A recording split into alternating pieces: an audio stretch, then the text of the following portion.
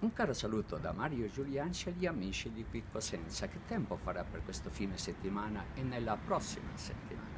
Bene, fine settimana con bel tempo perché la perturbazione che sabato raggiungerà il nord non raggiungerà ancora le estreme regioni meridionali però a partire da lunedì un vortice di bassa pressione che si genererà sulle regioni centrali influenzerà tutta l'Italia, quindi anche Cosenza e provincia. Piogge non solo lunedì, ma piogge che insisteranno tutti i giorni, addirittura fino a venerdì della prossima settimana. Per quanto riguarda le temperature, il freddo in arrivo tra lunedì e giovedì sul eh, centro-nord dell'Italia non raggiungerà le regioni meridionali, quindi ancora temperature gradevoli